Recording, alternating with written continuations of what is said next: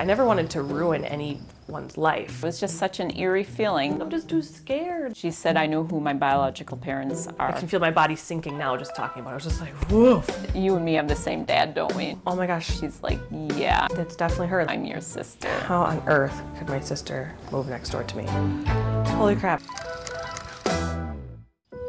My name is Hillary Harris. I was adopted when I was an infant. I grew up in Elmwood, Wisconsin. I met my husband in 2008. We bought this house here in Eau Claire in October of 2011. Then I found out I was pregnant.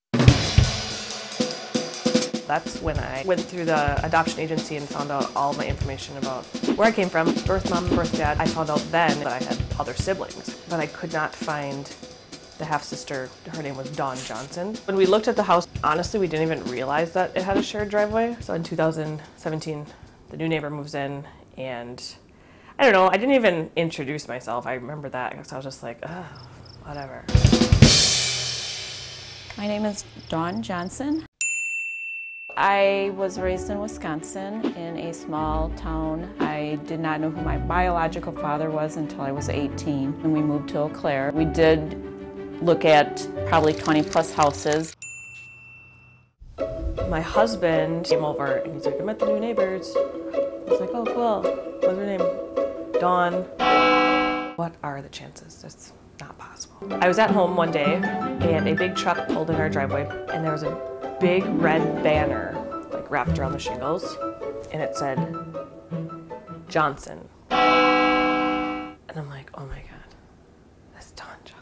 I was stressing myself out about it and my husband was getting stressed out. He's like, you need to ask her. And we go over and they're standing in their garage and she has curly hair and I have naturally wavy hair. I had a set of eyes on me that I could feel going up and down my body. We said bye and we walked inside and my husband's like, what the heck? You didn't ask her.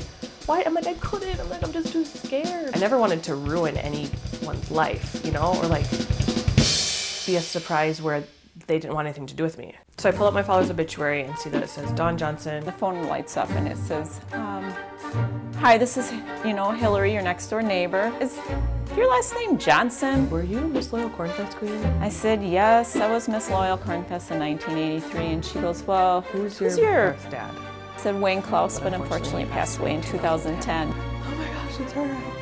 It's Dawn Johnson. And I said it, you and me have the same dad, don't we? And she's like, Yeah, I'm your sister. I was just, just in shock. Holy crap, now what? Now what's our dynamic gonna be like? And the next day, I ended up bringing pictures of her biological father because she has never met him, and uh, brought her flowers and a card and said, you know, welcome, sis. I'm glad to meet you.